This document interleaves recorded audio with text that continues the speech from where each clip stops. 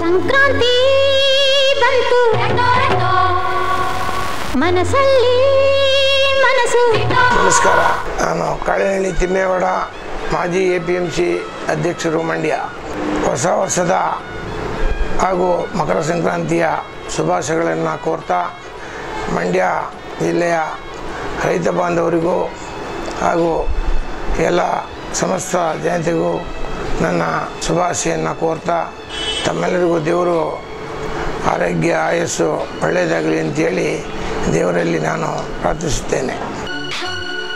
ಸಂಕ್ರಾಂತಿ ಬಂತು. ಮನಸ್ಸಲ್ಲಿ ಮನ